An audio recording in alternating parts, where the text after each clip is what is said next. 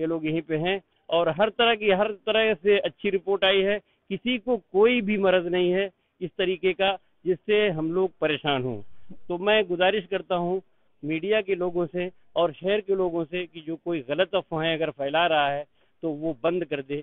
अल्लाह के वास्ते एकदम अच्छी रिपोर्ट है। ना पुलिस की तरफ़ से कोई तकलीफ़ दी गई, ना यहाँ के डॉक्टर लोग कोई तकलीफ़ दिए, और ना यहाँ पे भी इन लोगों को कोई तकलीफ़ हुई। अल्हम्दुलिल्लाह, हमारी जो टीम थी, मुकम्मल तौर पे काम करी और अच्छे से हो गया। अब वो लोग हैं लॉकडाउन खुलेगा। वो लोग को गवर्नमेंट अपने हिसाब से उनको अपने घर पे भेज देगी। दोस्तों इस्तकबाल है नज़र इंडिया न्यूज़ में और जिस तरह से हम इस वक्त मौजूद हैं, मदरसा तनवीर के पास में, मस्जिद मदरसा तनवीर के पास में, जहाँ पर एक बेहतरीन खबर आ रही है इस वक्त, जो अफवाहें फैल रही थी कि क्वारंटाइन के लिए ले जाया जाएगा, उन्हें कोरोना है। ये चीज़ें बिल्कुल गलत साबित हुई है। उनकी रिपोर्ट्स आई, वो बिल्कुल क्लियर आई है। पुलिस यहाँ आई थी डॉक्टर्स की टीम भी आई थी, उन्होंने इस बात की तस्दीक की है। हमारे साथ मौजूद है मुमरा के जमातुलमा के सदर मौलाना अब्दुल वहाब कासमी, जो इस बात की तस्दीक करेंगे कि क्या मामला पेश आया है।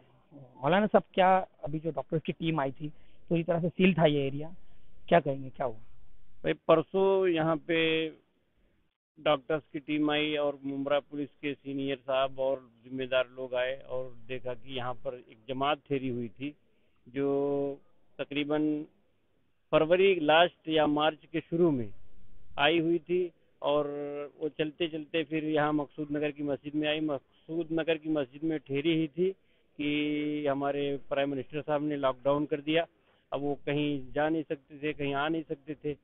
तो वो लोग मस्जिदों में रह रहे थे। बहरहाल मस्जिद में तो दो चार लोग नमाज़ पढ़ते थे और वो लोग अपना बड़ी मस्जिद है, हिफाजत से वो लोग थे। लेकिन फिर ये बात हुई कि जो लोग बाहर के आए हैं उनका जो है टेस्ट कराया जाए उनको चेक कराया जाए।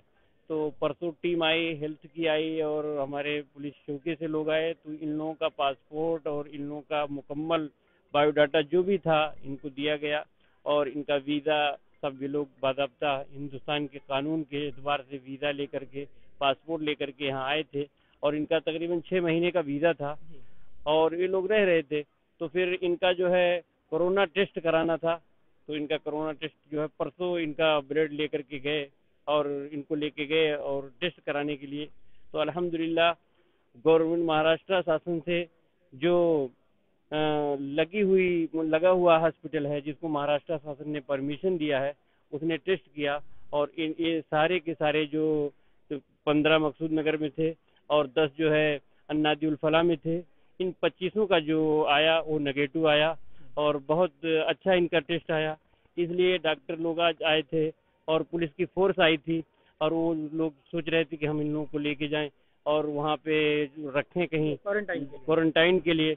लेकिन यहाँ इतनी बड़ी जगह है फिर उन लोगों ने सोचा कि इनका तो कुछ है नहीं इनको यहीं क्वारंटाइन के लिए रख दिया जाए।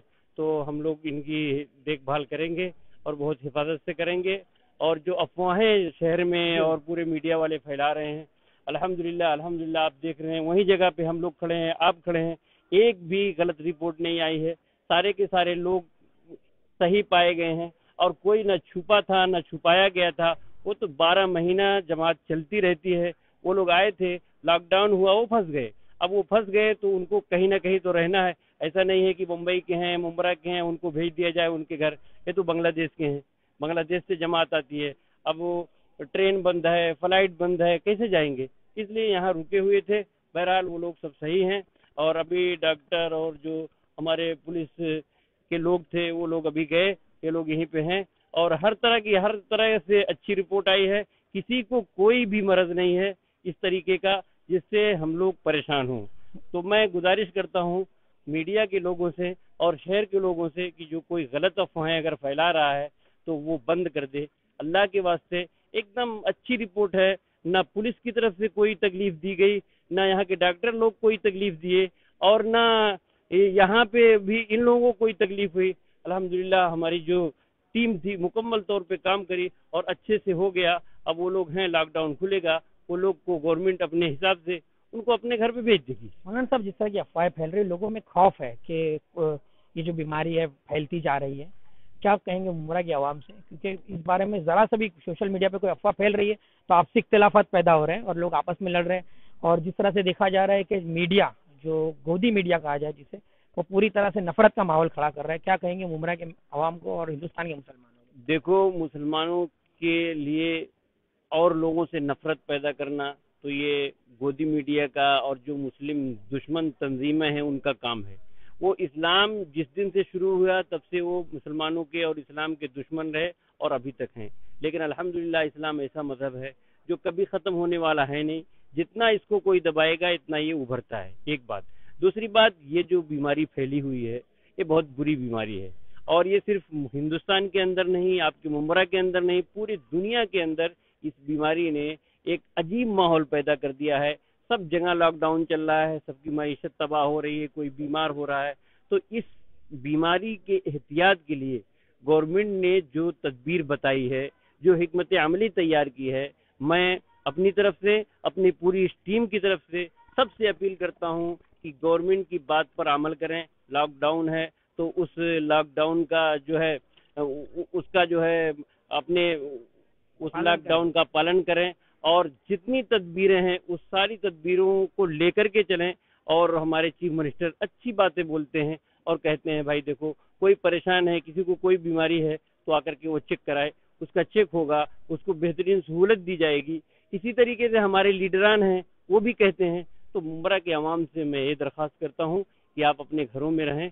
हमारी माएँ, बहनें, बच्चे छोटे छोटे बच्चे बाहर दौड़ते हैं। अगर बीमारी लग गई तो सबको परेशानी होगी। बच्चों से और बच्चे, बच्चों के पेरेंट्स से, उनके वालदेन से मुद्दबाना दरख्वास्त है कि बच्चों को खास कर और जो बूढ़े लोग हैं, उनको खास कर घरों से बाहर ना निकले दें और हमारे नौजवान भी खूब शान से घूमते हैं। इनसे भी दरख्वास्त है कि आप अपने घरों में रहें और पुलिस और हुकूमत के जिम्मेदार अगर कोई आपसे अपील करते हैं उस अपील को माने। डिपार्टमेंट का भी हम शुक्रिया अदा करते हैं। हमारे मस्जिद पे आए और कायदे से उन लोगों ने अपनी फॉर्मेलिटी पूरी की, हुकूमत के, कानून के एतबार से उन्होंने पूरी कार्रवाई की। अल्हम्दुलिल्लाह हम लोग उनके साथ खड़े रहे और मुकम्मल तौर पर हम लोगों ने उनका साथ दिया, उन्होंने हमारा साथ दिया। आज जो ये एक अफवाह फैली थी और जो मुसीबत हम लोगों को लग रही थी, अल्लाह ने इस मुसीबत से हमको निजात दिया और हम लोग इससे अभी सुरखरू हुए हैं। हम पुलिस महकमे का और हेल्थ के लोगों का शुक्रिया अदा करते हैं। और ख़ासकर अपने लीडरान का, अपने आमदार का भी शुक्रिया अदा करते हैं कि वो आए, वो खड़े रहे और लोगों से कह करके ये मुकम्मल मामला सही करवा दिया। बहुत बहुत शुक्रिया मौलाना साहब, और उसके साथ ही हम इस पूरी टीम को मुबारकबाद पेश करेंगे। उनकी हौसला अफजाई बहुत ज़रूरी है। इस मुश्किल घड़ी में भी मैंने जिस तरह से जब हम इस गली में दाखिल हुए तो हमने देखा कि इस टीम के, इस ग्रुप के लोग बाहिम्मत तौर से यहाँ खड़े थे। उन्होंने कहा कि ऐसी कोई अफवाह ना फैलाई जाए तो इसके लिए बहुत बहुत हौसला अफजाई आप लोगों की भी। और हम उमरा के अवाम से यही अपील करते हैं कि जो हमारे रहबर, हमारे बुज़ुर्ग, जो हमारे उल्मा है, वो इस कौम के वारिस होते हैं, वो और ये कौम के वारिसिन आपको एक राय दे रहे हैं तो बर मेहरबानी आप एक साथ हो जाइए, इनकी बात को मानिए, जो ये कह रहे हैं लॉकडाउन का पालन कीजिए, इस मुल्क के कानून का पालन कीजिए, क्योंकि एक तरह से गलत मैसेज जा रहा है पूरे हिंदुस्तान में कि पूरी कौम, पूरा हिंदुस्तान इस वक्त लगा हुआ है कोरोना से लड़ने में और एक मुस्लिम कौम है। जो इसके खिलाफ है तो इस तरह का मैसेज कुछ ना जाए तो बहुत बहुत शुक्रिया आप लोगों का। सेफ़ रहिए, सुरक्षित रहिए।